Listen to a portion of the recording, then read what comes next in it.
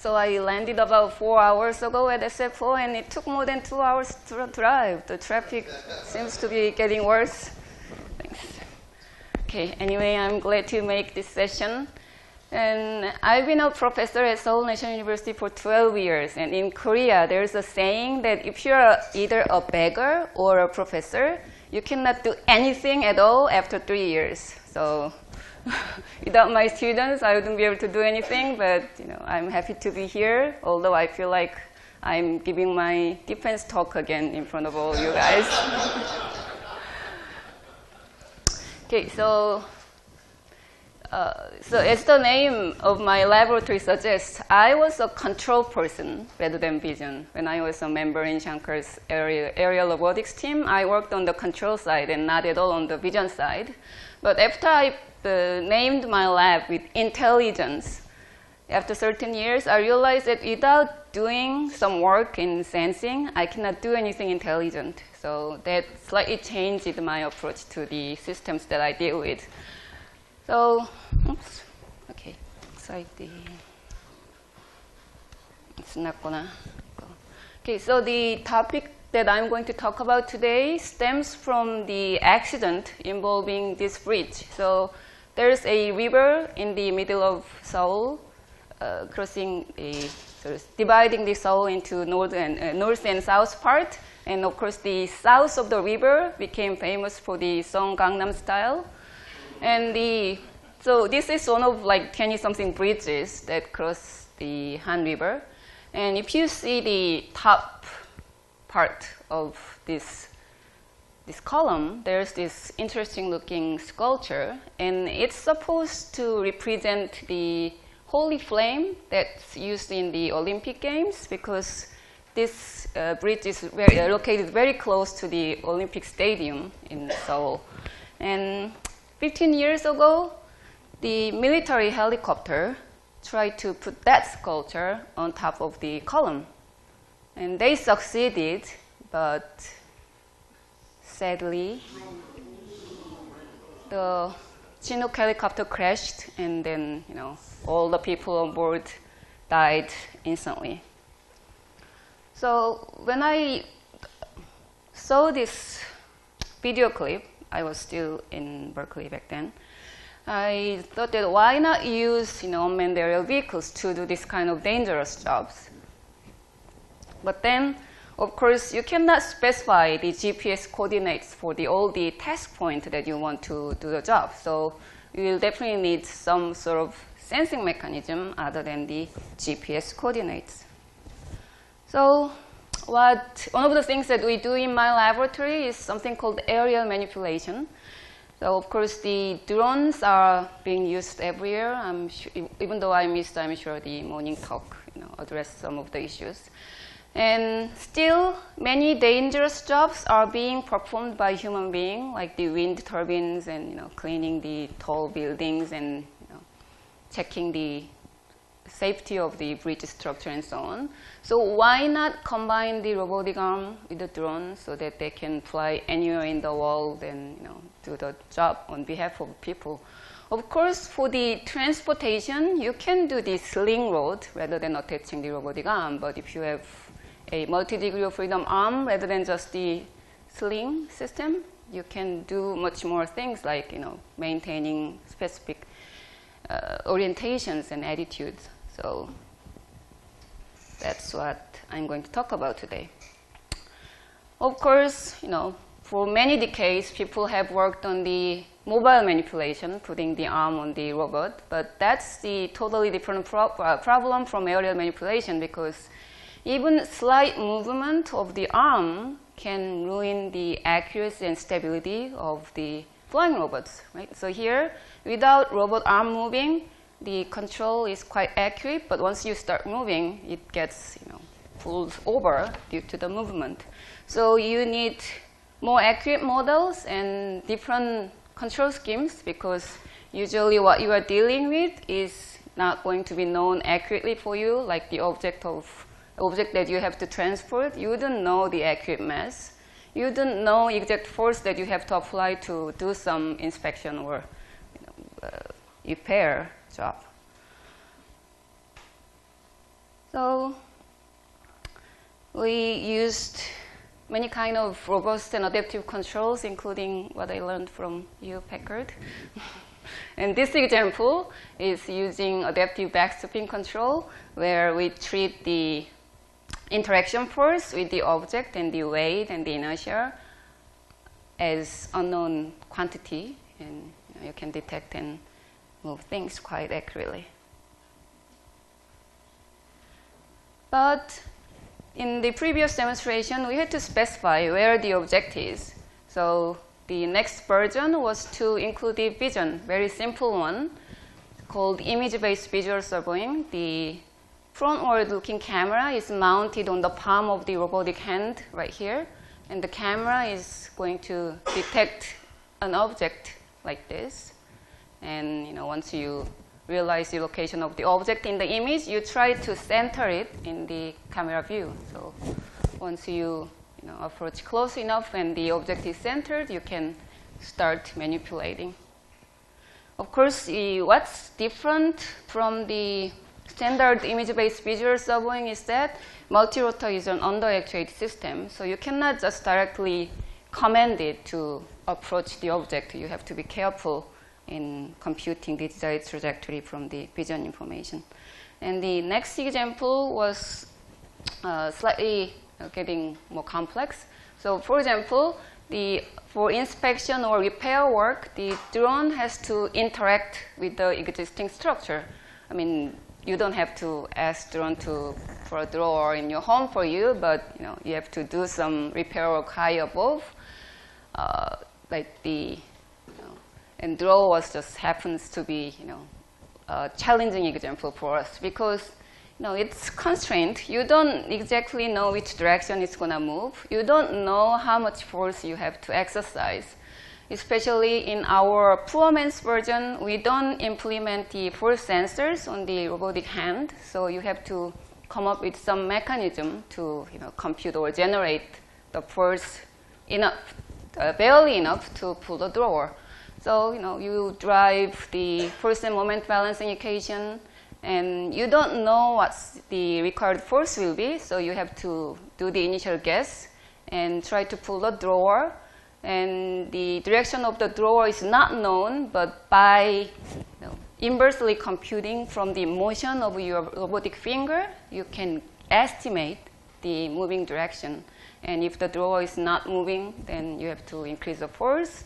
And of course, the uh, since uh, with the addition of robotic arm, it's now highly redundant system. So for some, uh, for identical tasks, you can either move the drone body more or the robotic arm more. So depending on, you know, where you are far enough from the object or if you are, you know, have to avoid some, you know, objects, you have to you know, be careful when you are planning which part you are going to use for the movement. So, so we included some trajectory optimization. For example, it's safer to use smaller torque with, uh, with respect to this axis. And of course, you have to avoid getting near the blades for the safety and so on.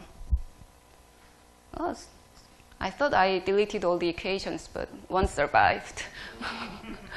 so uh, using this kind of approach, you don't have to specify entire you know, attitude for the robotic arms. You, as you see in this snapshot, when drone is pulling the drawer and pushing the drawer, you know, they, uh, it automatically changes its attitude.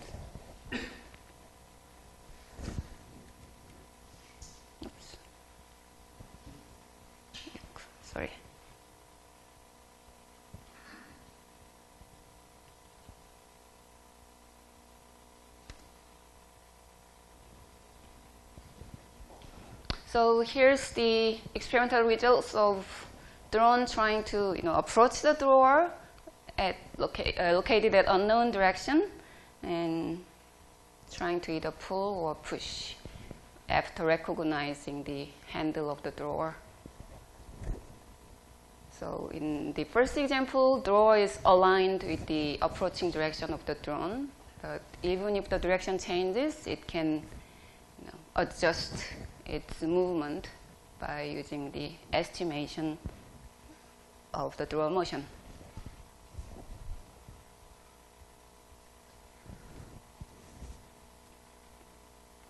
And uh, next thing we are doing is to do cooperative operation using drones. So you can do, you know, various path planning techniques and you know, apply them to the drones. And of course, the difficult thing is if they are connected to an object, you know, one vibra- a vibration of one drone will directly affect the other movement, and that has to be compensated by the internal mechanism.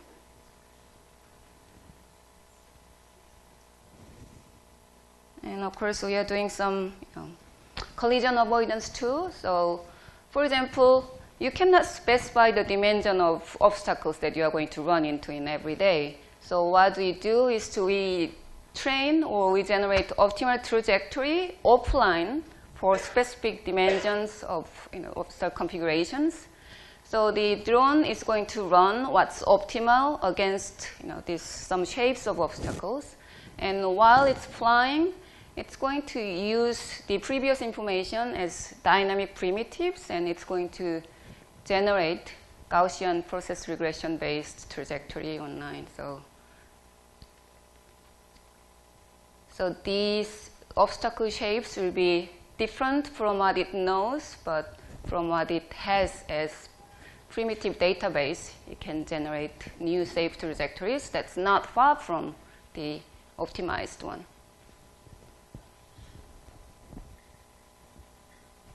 So now it detected this guy and avoided it. And now it detected this one, so it's gonna fly above.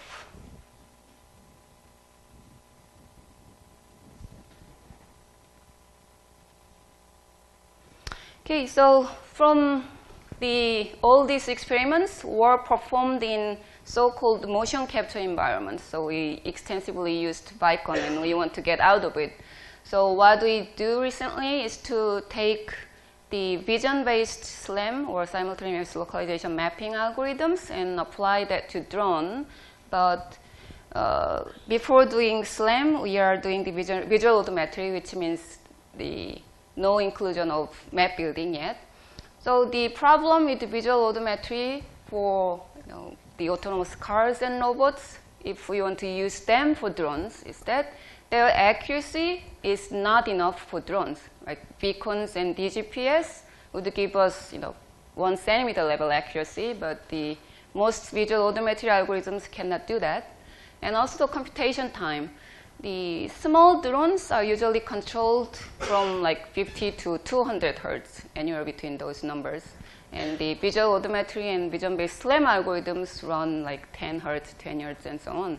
So although we had successful results using the KITTI data set for the autonomous cars, we couldn't fully apply this result for the six, six degree of freedom SLAM for the drones yet. So this algorithm ran at 10 hertz and it was you know, relatively faster than most existing algorithms. And you can still see that the some loop closing is not instantaneous. It's you know, like this one. These two ha have to overlap, but it's not. So, so that's why we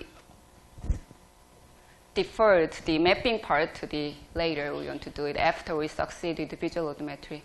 So the uh, we are taking a hybrid approach for the visual odometry for drones in a sense that most visual odometry algorithms are either feature-based, they use features, detect and match and reconstruct, or the dense approach.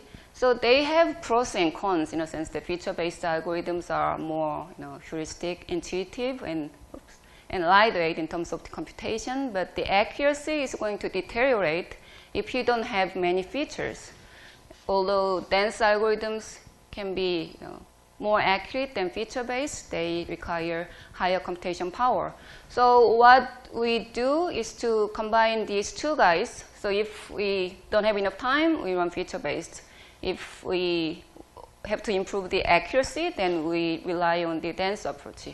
So by combining these two approaches, we realize that we can uh, boost of the performance without sacrificing computation time too much.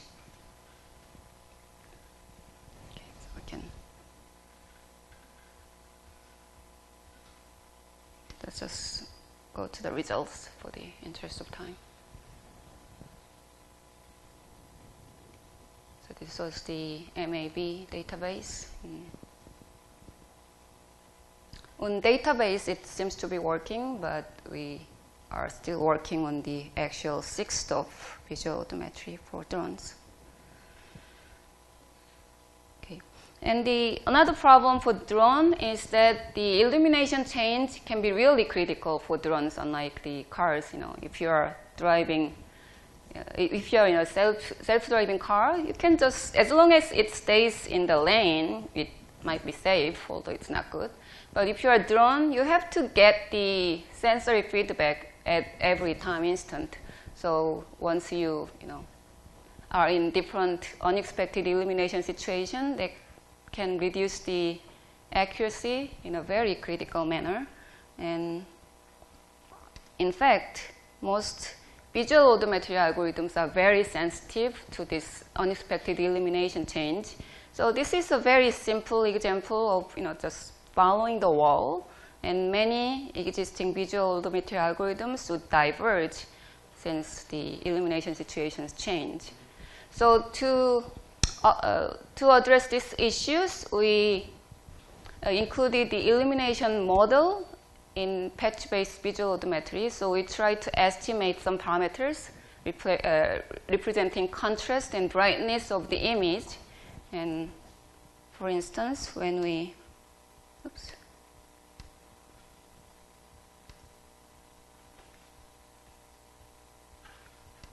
Synthetically changed the illumination in, you know, into four different quarters. Then we, you know, we know true parameters for contrast and brightness.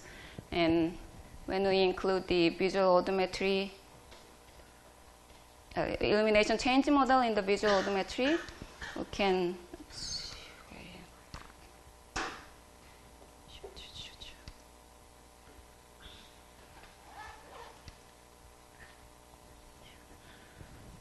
our adaptation algorithm estimates the true parameters quite accurate enough. And as you saw here, our algorithm would not diverge in this kind of situations. Let's see. And the, the only visual odometry results we have yet is planar flight. So this video clip shows the fully autonomous visual odometry based flight using the smartphone. So there is a smartphone looking downward and we are using the Bayesian correspondence between features instead of deterministic one, we realize that when you are dealing with the vibration of the drones and you know, low quality cameras like the smartphone ones, it's much better to use the probabilistic approach than deterministic feature mapping. Though still, this result is limited in a sense that we use planar assumption. It's not full sixth of yet, but you know, it's running on smartphone fast enough, so our next task is to improve this result to full sixth of flight and the results that do not depend on explicit features like this, that's what we aim for. So we are working on vision-based operation of flying robots, and it's an interesting platform to address control, perception, and path planning. And I thank you, Shankar, for teaching me the difference between verification and validation. So he was always very supportive, but the most critical comment I ever got from him was do not mix the words of verification and validation. After all the, these years of experiments, I do realize that theoretical verification and experimental validation are really different, as you can see from these clips. So these are my, uh, my daughter's favorite video clips. So I show them to my daughter and see if you don't eat enough food, you, you become like this. You know, you cannot lift anything. So this is what I have. Thank you. Thank you very much. Thank you.